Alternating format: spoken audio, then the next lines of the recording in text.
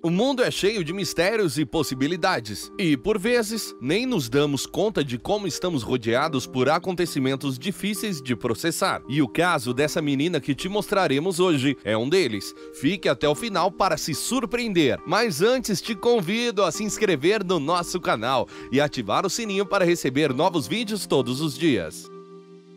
Foi um lindo dia para o casal de ingleses Scott e Emma, quando a filha deles, Charlotte, nasceu. Mas após isso, acabou se tornando também um dia marcante, pois o bebê, o terceiro do casal, tinha uma condição tão rara que sequer tinha um nome. Ela nasceu com um estranho caso de nanismo primordial. De acordo com os médicos, Charlotte provavelmente sequer chegaria ao seu primeiro aniversário. Ela mal pesava 450 gramas e media apenas 25 centímetros. Emma não tinha outra escolha senão vestir sua filha com roupas de bonecas. Para carregar, ela colocava Charlotte no bolso da frente do seu moletom. Eles tiveram que fazer fraldas especiais para ela, cada uma do tamanho de um documento de identidade. O primeiro aniversário de Charlotte chegou e passou, assim como o segundo. Houve problemas de saúde, como cistos em seu fígado e um sistema imunológico fraco, mas essa pequena guerreira continuou lutando pela vida.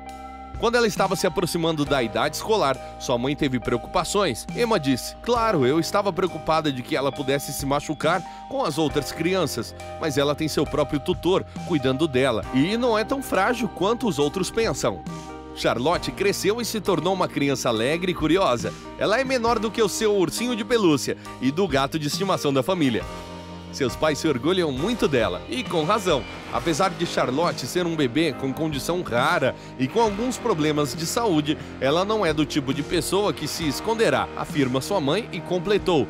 Existem muitas incertezas, mas Charlotte arruma um jeito de te surpreender quando você menos espera. Nós não sabíamos que ela viveria tanto. Atualmente, Charlotte está com 10 anos e continua desafiando o diagnóstico dos médicos e tem se tornado uma inspiração para muitas pessoas que aplaudem a resiliência da menina diante das adversidades que enfrentou desde tão jovem e o amor que seus pais lhe oferecem. E aí, o que você achou dessa história? Compartilhe com seus amigos e até o próximo vídeo.